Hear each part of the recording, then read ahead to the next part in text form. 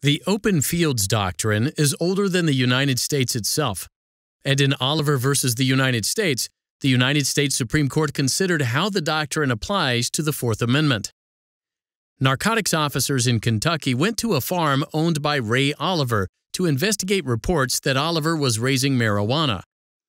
After driving past a locked gate leading to a field, the officers followed a footpath for several hundred yards, passing several no trespassing signs. Fencing also surrounded the field. Acting without a search warrant or probable cause, the officers made their way onto the fields where they found marijuana plants growing a mile from Oliver's house. Oliver was charged in federal court with manufacturing a controlled substance. The federal district court ruled that the warrantless search of Oliver's fields violated the Fourth Amendment.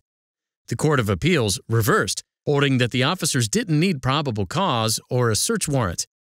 The United States Supreme Court granted Oliver's petition for cert.